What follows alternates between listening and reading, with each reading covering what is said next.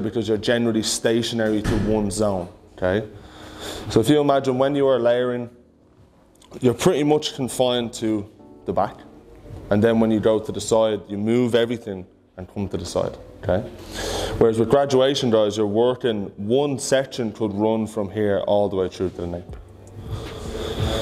So you could be working across two to three different zones in one section and using almost all your different techniques and factors. So graduation is a little bit more demanding from a technical perspective. Um, it may take a little bit longer than the other things that you've learned for it to sink in, but I wouldn't worry about that. Transfer a dryad from the back to the top than it is from the top to the back. Okay, reason being is that the graduation starts here, not here. Okay, so if my dryad, if I put the top first and I transfer my dryad to the back, but I'm not starting in the back, how am I going to get that dryad to here? Okay, it's impossible. First, then ultimately that's the area that I want to start on sometimes as well. Okay, it depends on the haircut as well. But if I've got one area that is far longer or far bigger than another area, generally speaking, I want to cut that area first. That means I can use the one dryad that I've, I'm going to create here to serve all of this, okay, before moving that guide to the top, which is a much smaller surface area. That's one. Second thing that I'm looking for is focal point. So when we look at a haircut, guys, ultimately one of the biggest factors to determine where I begin that haircut is where is the focal point in this haircut? So when you look at the haircut, what is the most important part of that haircut? What is the part of the haircut that gives it the most life, vibrancy, and so on? Okay?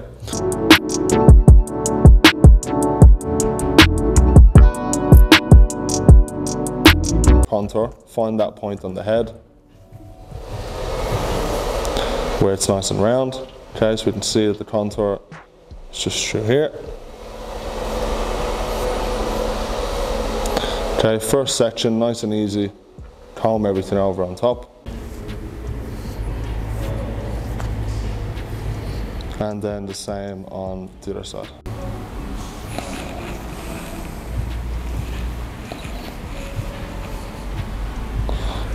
Once we have that, bring everything to the top. Comb through the sides, through the middle.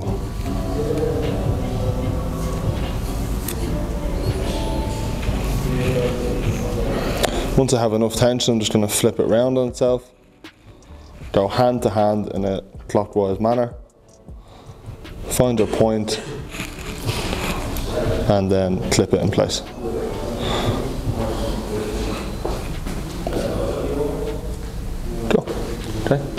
Box section done. Weight, lots of weight like that, okay? And I say that off the bat because this happens a lot, okay? I see people building massive angles in their haircuts, okay? And what this causes is a sag or the hair to become heavy and the whole purpose of the graduation becomes void, doesn't work, okay? Weight beyond um, beyond the head shape. Okay, so what I mean by that is if you look at the comb flat on the sides here, do we all see that, yeah?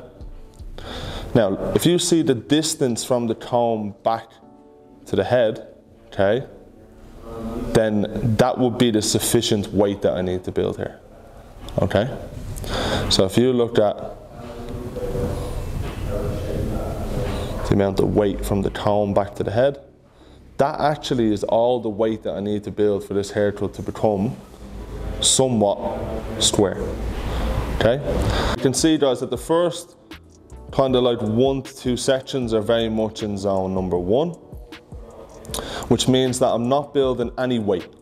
All I'm doing is just reducing weight or just managing the length, okay? So with section number one, all I'm gonna do is create a square cutting line as opposed to a triangular cutting line.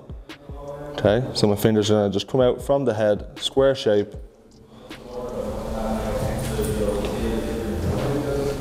No triangular um, cutting line, and I'm not over directing. I'm just elevating from the head.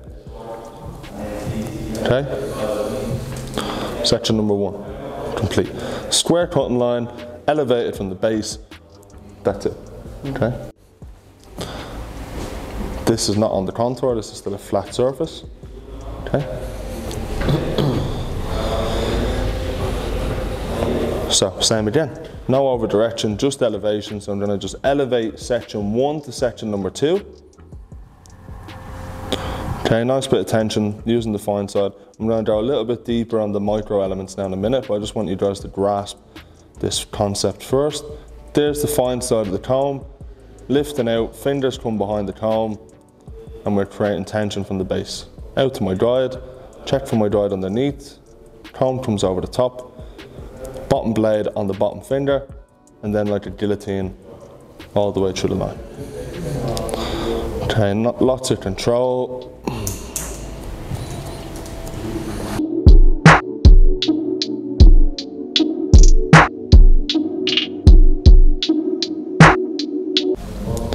Trying to pop that in there. So guys, really there's only one section here in, uh, in zone two, because if you look at what happens next, pretty much the next section brings me through to the nape. Okay, so where zone two finishes is where the nape begins. So zone three should happen right on that sweet spot where the hairline meets uh, the back. Okay. That okay, Pat? I was telling you about this one here. This is the one I was telling you Good about. job, Graham. This is the one. See this tiny piece here is actually part of the fringe. Now keep that separate and I know it's very, look how small the hair is guys, but that's how uh, this, that's how much you should pay attention to these things. That's actually on the frontal hairline, so I'm gonna leave that. Now, I'm gonna over direct the top part of the section, and guys, I'm only going back, this is very important, to the previous section. Because what often happens, guys, is people bring this back all the way to the start. It's too much over direction. What you're gonna do there is build up a massive amount of weight. So what I always tend to do guys is, is I'll actually elevate first. I'll bring the hair out from its position on the base and then I'll groom over the top and I'll just go back very slightly. See there? That's back one section, okay? Fingertip to big knuckle.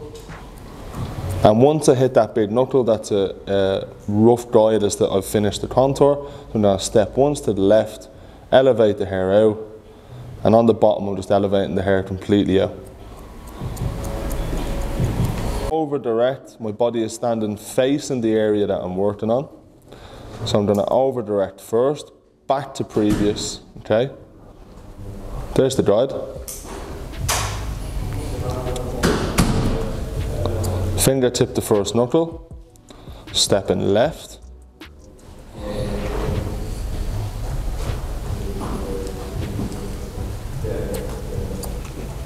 So round shape, and as I get through the nape guys, okay, because we're not looking to taper this, instead of my fingers coming flush and, and getting rid of the weight, I'm actually gonna elevate my fingers out, very slightly from the base, which means that I can actually keep the weight and allow some extra length in the nape, okay?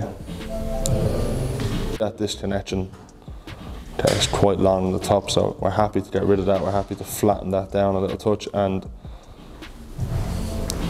reduce some of that weight coming over from the, the layer on top. Over direction, fingertip to first knuckle. Then I'm stepping left. Take one step to the left. Elevate the hair out. There's my guide.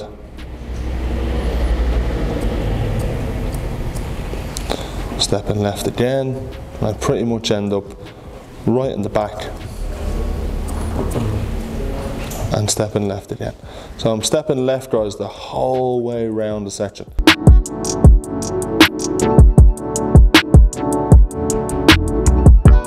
Stepping left, now I'm elevating, again fine side of the comb comes in, I'm elevating off the base, getting my tension from the, the root, bringing the hair out, there's my guide, okay?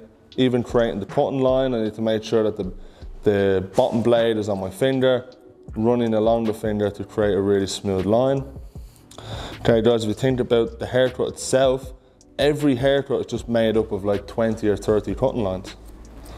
Think about that, it's crazy isn't it? So think about any haircut, especially, I mean if it's being faded obviously, you know, there's a, there's a element of the clipper involved. But if you think of your layer, your graduation, every haircut is actually just made up of like 20 to 30 individual cutting lines that are all jammed together.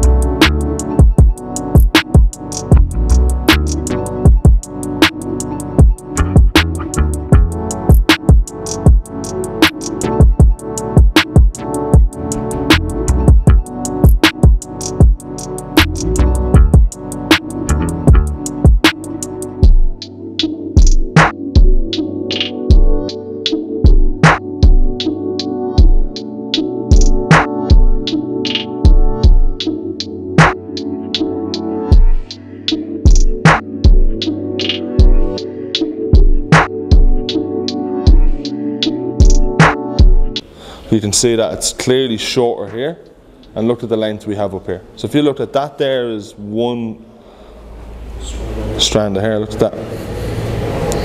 Okay. And we imagine that it runs all the way down to there. Like so. Okay, so that there is graduation. Oop. Okay.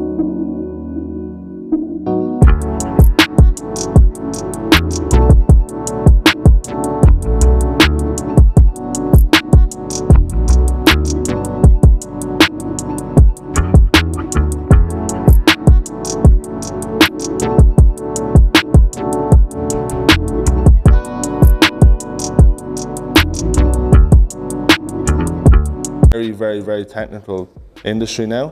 In 15 weeks, you're never going to master anything.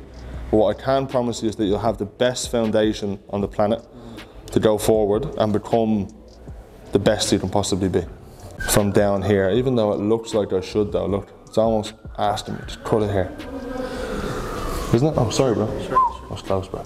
It's my fault. That's okay. Sorry, bro. See this cut? Looks like I should cut it from there, doesn't it? Doesn't it? But the top would be very short, wouldn't it? Now, where was my section? Where did I divide the back from the top?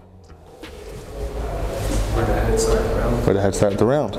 So actually, if we look at that, if we look at where that short section is, and we take this stride, that's not where my section was to divide the back and the top, was it? My section to divide the back and the top was actually more like here, wasn't it? So I've actually already cut all this. This is actually part of my graduation. See? I've actually cut all this. So guys, what, I, what you want to make sure you do when you connect any section from the back to the top, when you're graduating, you need to make sure you find the longest of those short pieces. What you need to do is connect the section right where you divided it. Back that cut and connect it based on that guide. Not based on a piece of hair that's halfway down the crown that just looked short so I should connect it. Alright? It looks like you should connect it from here, but actually you need to connect it from the longest of those short pieces, which is actually here, right at the top. Because that was the last point that my graduation was.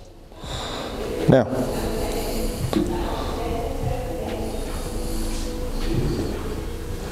longest short piece, there it is. And guys, all we're going to do here is something square through the middle, and then as we get towards the front, we're going to create a very small triangular shape, but not much.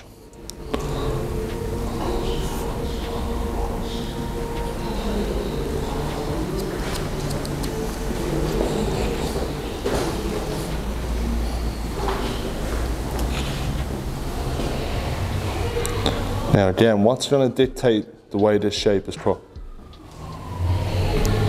What's going to dictate where I create the triangular shape? Head shape. So where the head begins to round is actually where I begin to increase the length. Horizontally. So the over direction is controlling my horizontal shape and my cutting line is controlling my vertical shape. Okay? So let that sink in. My over direction is controlling the shape this way, which is as important. Okay, you can't just disregard that. And my cutting line is controlling my vertical shape.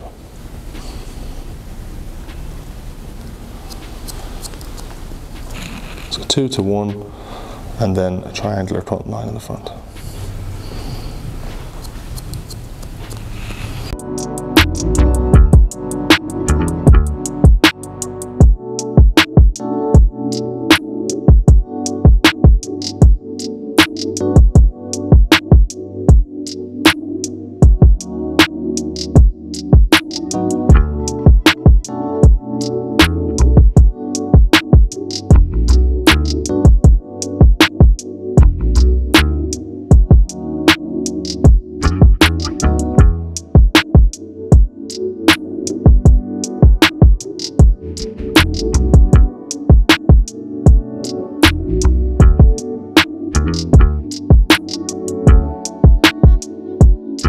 This low zero line, and we're just gonna fade it into that zero line. And that'll just give the hair a little chance to grow back in.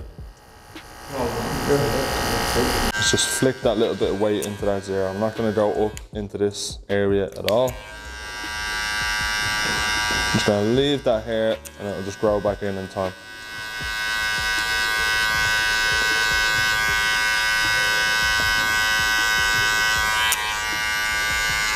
Very simple. Paddy's favourite piece of the plate.